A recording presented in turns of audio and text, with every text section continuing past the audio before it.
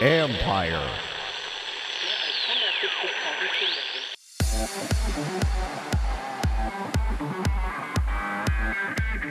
Eligibility. It's more complicated than you could ever believe. I hear your, oh my God, sort of in, in, in your voice, like, how could this be? And I think what you're really talking about is that the NCAA is has a pretty prominent role in defining the scope and content of pre pre collegiate schooling. And that's what you're talking about. And I think there's just a lack of understanding. Kim Michelson and Joyce Anderson found an honest game with the goal of making sure athletes get to and stay on the field of play. This is the Future Sport Podcast. I'm Bram Weinstein.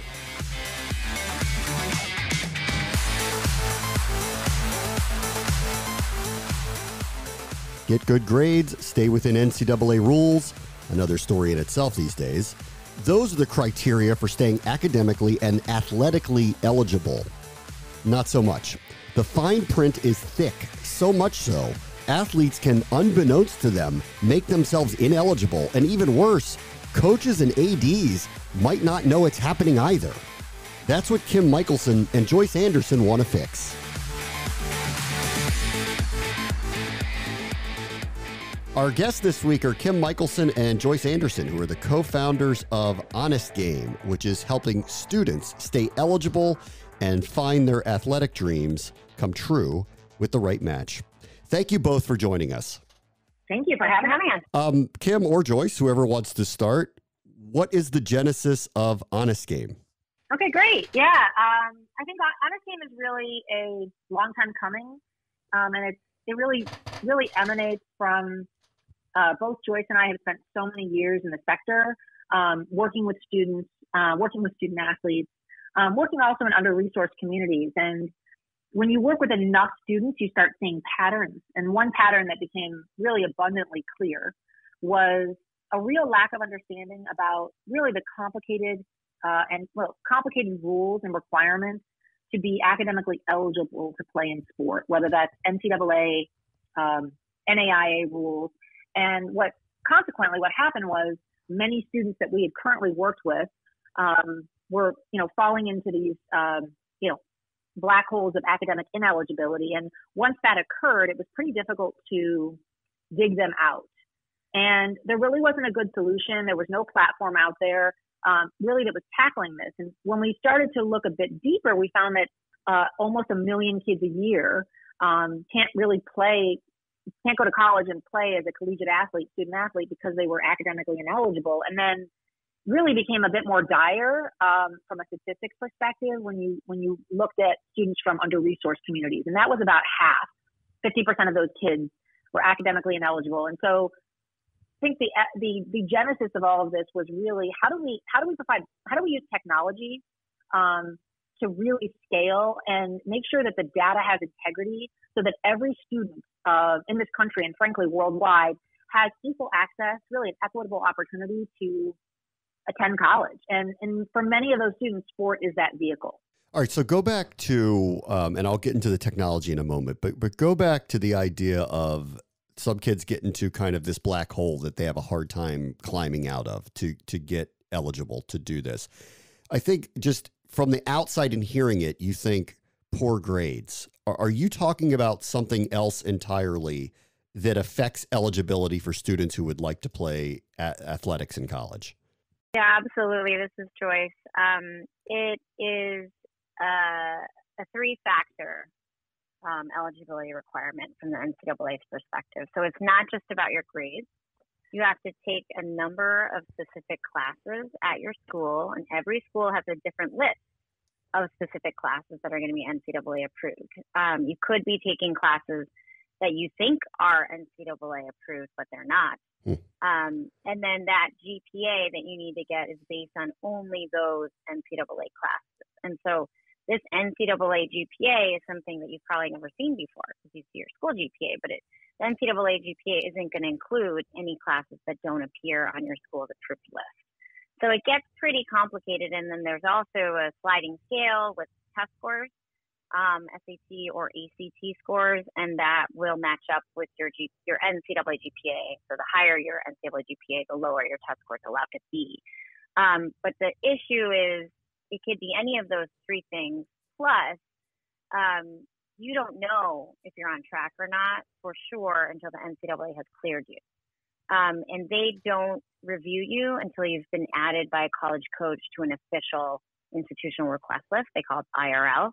Um, and that might not happen until you're a freshman in college already. So there are kids walking around college campuses right now who are not NCAA cleared but don't know it um, and may even compete against the rules. And when that happens, huh. the school can get penalized. They can lose championships that they've won and all sorts of things. Um, and it's because people don't have the capacity or the time or the understanding to manage it all. Um, it's it's super complicated. It changes all the time, and frankly, the burden of compliance really rests on high school. But they are very overworked, um, and they you know they have enough to do what they're doing. And now we we in our country we expect them to be academic eligibility experts, and this is kind of where some of the some of the confusion comes in. This is amazing I, because every each party involved here are they're incentivized to ensure eligibility. The student athlete is, the school is, the coaches are. How could there have this? How could this have happened? Really, I guess is what I'm asking. How could this be? Yeah, it's a, it's really a challenging question. Like, how does it happen, and what what happens a lot of the times is um, lack of attention or awareness because it's not intentional. Of course, everybody wants every child, every student athlete to have that opportunity, right? But a lot of the issues are they find out too late. Um, the people in their village aren't educated enough to really know what the issue is.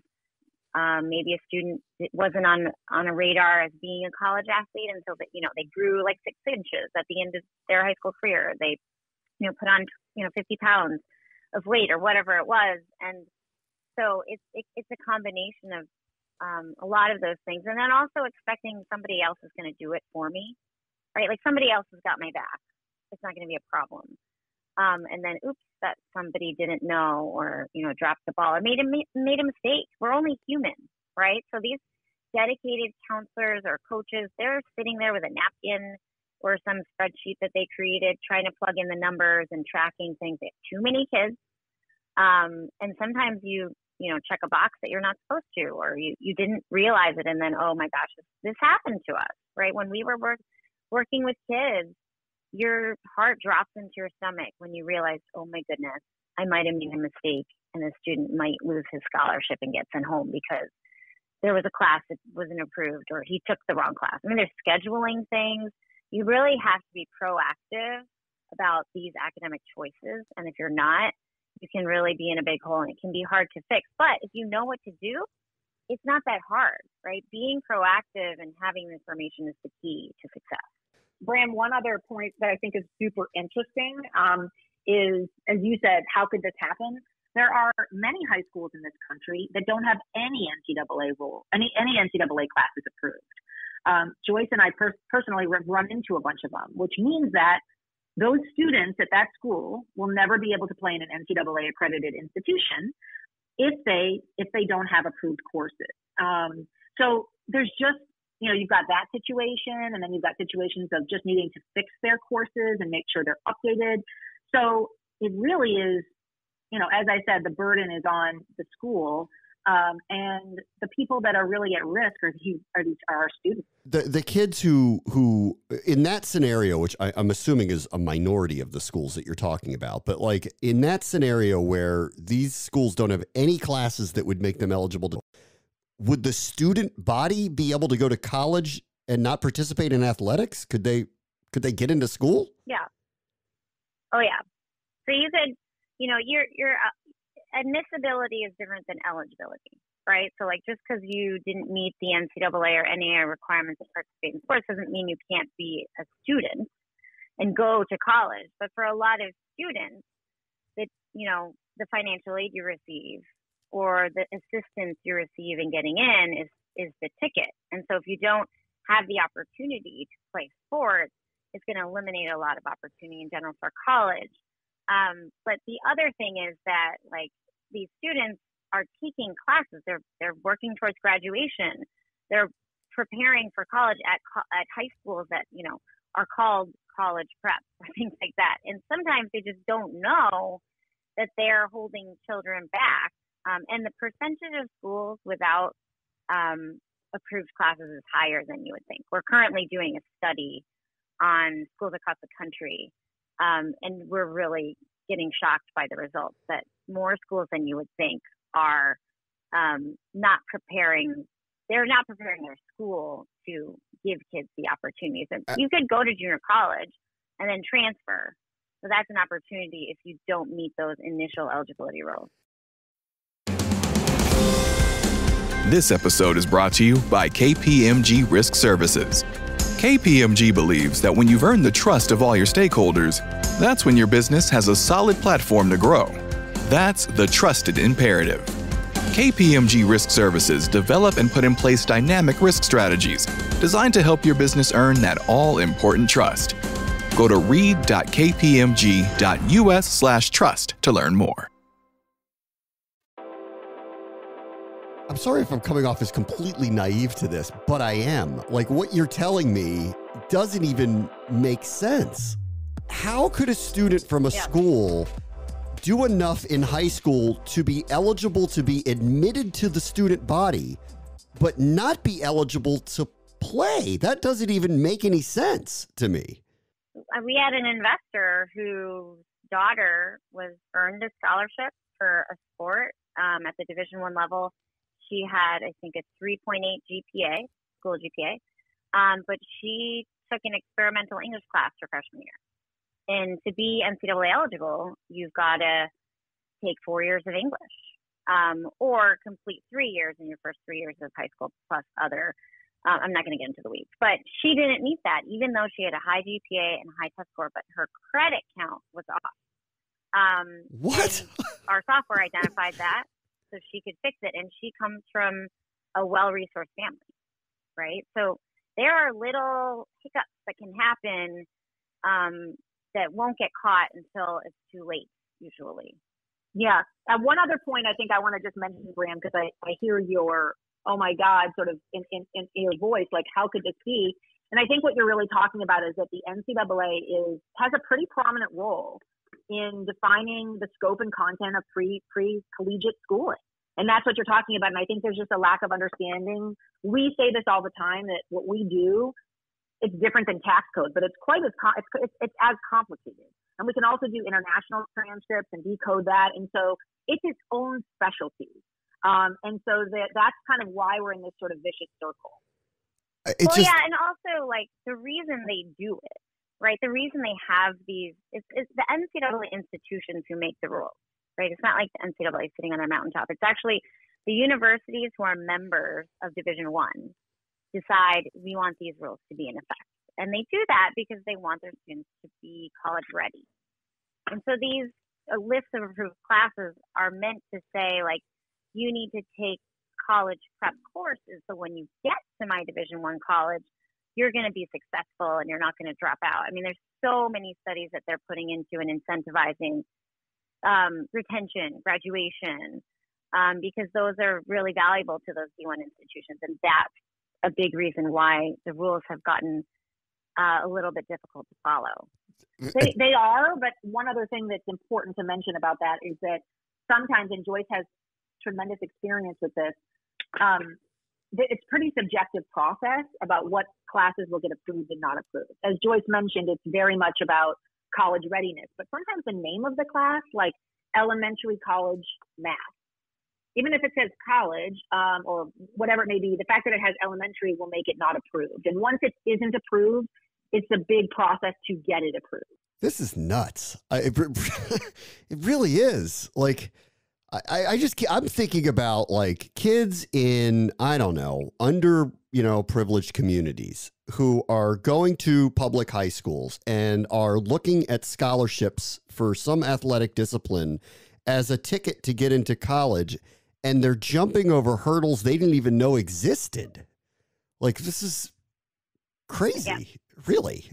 And the reason, yeah, yeah and, and the reason Bram is so important, obviously, we don't I don't want to get too big, sort of big picture here. But as Joyce mentioned, yes, they could meet the admissions requirements and go to that college. But we are living in this the world right now where in the last several years, I think last 10 years, college has grown. The price of college has grown at a rate of eight times the average. Um, and so, and then, right, the major, and then I think 75% of kids, there's stat, something like 75% of kids um, are in default of their, on their loan. So, I mean, if we're really trying to set the next generation and future generations up for success, um, you know, the, there are, you know, the number of college scholarships has grown. I think it's in excess of three billion now, and even if it's a partial scholarship, so it is a vehicle for social mobility uh, and for opportunity. Um, and so that's why this is really, you know, we feel like it's a really important problem to solve. Yeah, college student athletes are much more likely to graduate from college than the national average. So It's almost like 30% more likely, depending on which division you go to. And and Kim and I were both athletes, right? Kim was the first female in the state of California to play varsity boys baseball and basketball. I was a Division one athlete um, in tennis, and we just know what sports gives young people, right? Like from the beginning, you learn all those intangibles of teamwork, leadership, confidence. But then when you get to college, you have family on campus, you have social emotional support, you have tutoring, you have academic advising and career counseling, and all these other networks um, that are provided to you if you are, you know, able um, and you know lucky enough to participate in college athletics. And we just want to give that to as many kids as possible. All right, so and to, and Bram to use data to use data to do it. Like this isn't just something that Joyce and I feel you need to do and it's subjective. It's data um, that drives hopefully people to make better decisions in a very unemotional way. Um, I, I, let me just say this to all the parents out there that, that might hear this. I, think they're all thanking you for stepping in because like this is this is a quagmire that doesn't need to exist. Um, tell me a little bit about the technology. Um, what exactly do you do? Yeah, so we have a software and it takes in your school transcript. We don't take self report. So you can't like say, I got an A in English. It actually has to be a, a school document showing what your classes and grades were. Our software will pull it in and then it spits out a dashboard for you. And every time you get a new transcript, they'll give you a new report. And that report provides tracking of every class you've taken, letting you know what your numbers are, like how far along are you? Are you on track? We've got averages that you've got to hit. We tell you what your special NCAA GPA is. There's a toggle where you can slide to see, like, okay, on the sliding scale, if my GPA is this, what test score do I need to get on the SAT or ACT? Um, and then we give short term goals. So we'll say, hey, if you get an A in this class, your GPA goes up to a this. If you get a B, your GPA does this. If you get a C, your GPA does that. Um, and then we'll track all of those requirements for Division One, Division Two, NAIA. We're adding D3 and JUCO this week. Like every couple weeks, we're adding some really exciting um, features to our app. Um, in a few months, we're going to have admissibility features in there. So if, if you're in D1 tab, you can say, hey, I want to see what the D1 colleges are, and then which ones do I fit academically for admissions um, on top of my eligibility. And then on top of that, we're suggesting, hey, maybe you don't meet the requirements for D1. Um, you need to do X, Y, and Z. Take summer school, take these classes in these subject areas. Um, and if you don't make it, how about D2? Or if you don't make it, how about you know these other opportunities so that kids always see it's it's not about I'm not going to I'm you know don't give up right there's always an opportunity if you keep working towards you know your dream and we're really trying to pair that student athlete passion for sports with a motivation for learning to increase learning outcomes overall are you flagging things for student athletes as well saying like almost yeah. preemptively saying you know if you take this class there's a problem here yes absolutely classes are flagged we have a, a, a red, yellow, green light system. So if you're green, for now you're good. Just keep working. If you're yellow, caution, right? If red, like dire situation really need to think about something. But for we track kids as early as middle school, but most of the kids in our software today are between freshman and senior year in high school. And so if it's a freshman, it's the best because we have so much more time to advise and track and push. Um, but even seniors, Kim and I, when we first met, um, we were working with a number of student athletes who are being recruited by um, Power Fives, and we helped them strategize. And that's how we came up with the idea of our software is that, like, if we can automate human strategy on how to get eligible, classes to take, what's your GPA. Um, it will allow people to, you know, the, the adults in the student's village to properly guide them. So it's not just about giving the student the proper information; it's about giving the parent and the counselor and the coach, and we give that dashboard to all of the adults in the student's village so that they can properly guide that student. And we know kids, 14, 15, you're not necessarily thinking about does my English class count for NCAA, but just seeing that red light will make them think, oh, there's something wrong. I need to fix it now before it's too late. Hmm. All right, let me get one big picture thing before I let you go, and, and where you. But what's your perspective on name, image, and likeness coming into NCAA sports? I think you know that's a great question, and I think just on, from a bigger lens, um, you know, we think of the sort of sport, uh, high school, collegiate sports. All of it is really over the last um, has had gone through remarkable innovation. The the academic side of it has almost stood still. So I think we're just kind of bringing that along. I think you know there's at this particular point, um, at least for high school athletics, um, California is the only state um, that from a high school student athlete you can work on and get an NIL um, and and you know use NIL to get kind of some kind of partnership and all of that. So I think we're still learning um, about how it's going to evolve and how it's going to change. And, you know, this kind of goes to an important point, Bram. It's really our name, Honest Game. We want to, that was a very deliberate choice. I think having spent a significant time in the sector, both Joyce and I felt that many of the companies out there uh, were somewhat predatory. And they were offering things that they necessarily, that they, they were more subjective in nature, not really data driven, and um, really maybe maybe drove to this sort of predatory sort of environment where every you know and we didn't want to do that which is why we said using data to drive honest you know honest decisions and integrity. And so i think when i joyce you may have different views on this but i think from an nil perspective we're learning and we want to make sure that we're communicating to you know our more than 30,000 users on our platform um, what they have to be aware of. For example, you know, if they were to get an you know NIL deal, they have to pay taxes on that money. So we just we want to use data and drive insights and opportunity and make sure that we're educating and it's not a predatory. Um, you know that our tool is really about data and not and honest data and integrity and nothing that nothing that is predatory. Yeah, and NIL is creating so many more opportunities for students in college, right? Like even you don't have to be at a top Power Five program to participate in NIL. And so the value that is being a college athlete is skyrocketing in itself, which means you have to get your academic stuff in order even more so now. Um, and so it's just much even it, NIL makes our academic tool or software that much more valuable to a young person because they, they now have even more incentive to make it so that they can access that opportunity of college athletics. Kim Michelson and Joyce Anderson are the co founders of Honest Game. Thank you both for joining us. Thank you Thanks for having us. This episode is brought to you by Verizon. The experts have spoken. Verizon has been named America's most reliable network by RootMetrics, proving there's only one best network. Best and most reliable based on rankings from the RootMetrics US Root Score Report, dated first half 2021. Your results may vary. On the next Future Sport podcast, health management and optimal training meet. As you start to get further into it, you realize well, hey, what if we looked at every spike in acceleration and started to see, okay, well, you know, what happens at every spike in acceleration? And actually, for the other 99 previous spikes in acceleration, there's no injury. And then you start to realize, huh, maybe that wasn't what led to it.